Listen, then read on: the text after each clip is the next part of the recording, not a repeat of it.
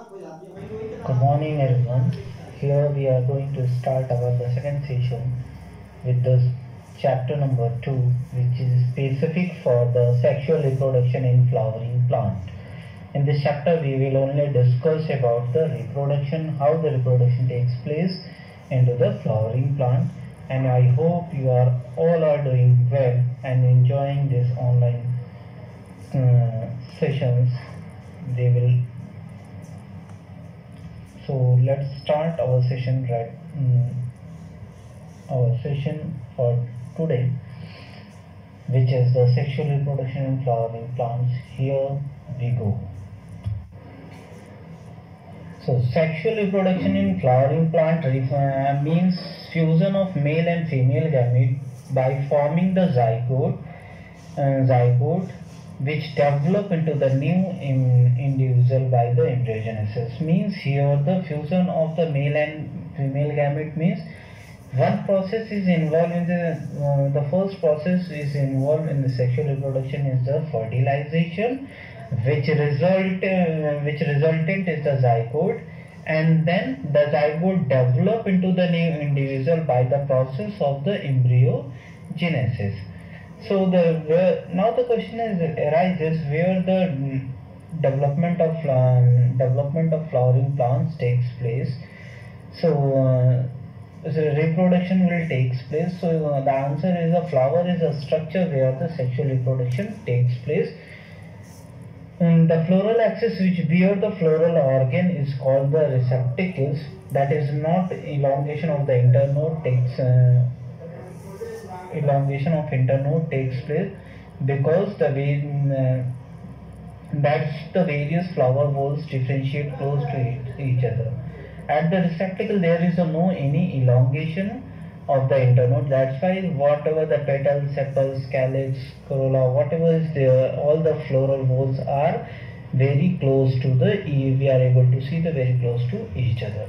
Now the outermost whorl, whorl is called the calyx after that was corolla, then androecium, then innermost is your gynoecium. Androecium is your male sex organ and gynoecium is your female sex organ.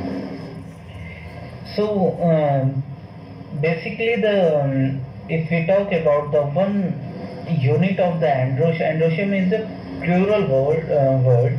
If you talk about the singular so it is a stamen. Stamen is made up of the two parts, filament and anther. Stamens are the dithecous. Dithecous means bilobe, which are the two lobe, in which each lobe contain the two microsporangia or pollen sacs. Means if the one lobe contain the two microsporangia, that means the two lobe contain four microsporangia. Okay, and the two lobe of the anthers are connected by with the help of the connect, uh, connective. One thing is here also uh, to be noted, the monothecous or um, this sporangiate anthers are present in the member of the Malvaceae and other plant. Monothecous means there was the dithecous. Here we are discussing about the monothecous that means one lobe. Bisporangiate means two sporangias are there. So this condition we are able to find where into the Malvaceae. Another thing is the Arceuthobium has the monothecous monosporangiate and the monothecous means one lobe, monosporangiate means only one sporangia it will bear. That means in this case the anther have the one lobe which contain one um, sporangia, microsporangia. Now the carpel consists of the three parts, style, uh, stigma, style and ovary in which the stigma provide the surface for the landing of the your pollen grain and style style is a tube-like structure which connect the stigma with the ovary.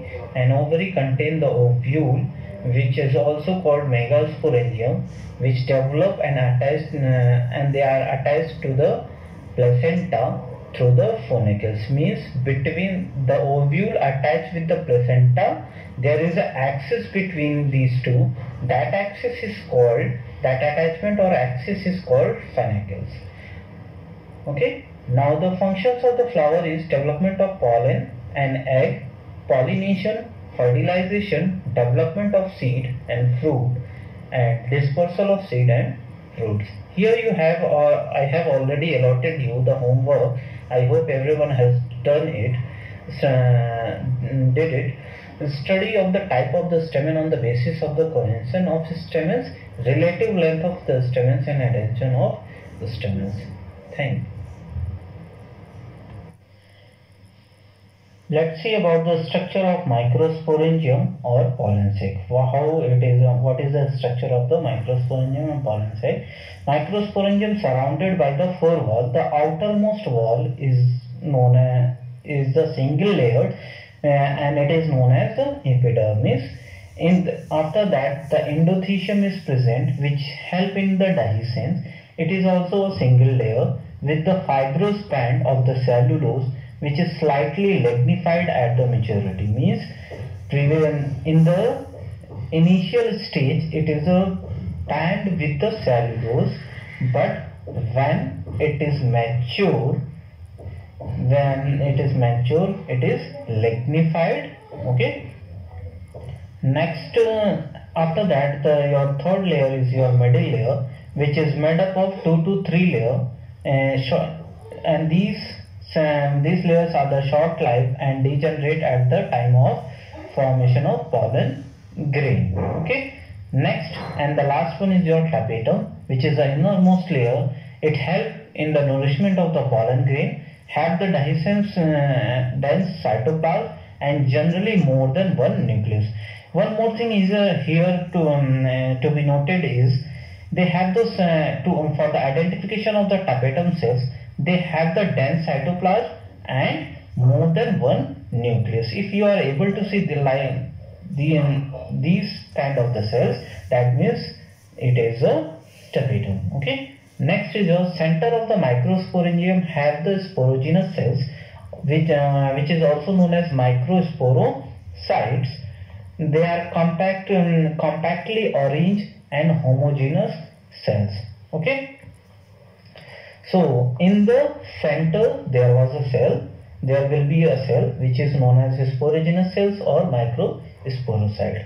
Now the, here we let's discuss in short about the function of tapetum. It is a nutritive function. They also serve the transport channels through the uh, through which the material can reach to meiocyte. Meiocyte means the microsporocytes. Okay, during the mitotic division mitotic uh, during the meiotic division. Here we have to if there is any written meiotic that means it is a meiosis. Okay? So when the meiosis division takes place in the meiocytes so it result the pollen mother cells. Also mm, the tapetal cells help into the fossilization of the pollen grain because it helps into the external thickening of exine by sporopollenin. Sporopollenin is a biomolecule which provide the resistance to the physical and biological decomposition. Okay. Next is your uh, the last function is it help in the transport of the pollenkitt material. Pollenkitt is the outermost oily layer forming the thick coating on the pollen surface of the many insect pollinated species means these characteristics only we are able to find in the many insect pollinated species. Okay? Those plant which pollinated by the insect only we are able to find in that. Next is your trypsin trypsin is a protein which released from the pollen grain and cause hay fever and pollen allergy when the pollen grain are moist. Means when the pollen grain are absorb moisture so they release a protein which is known as trypsin. They cause the allergic reaction in the human being. Now let's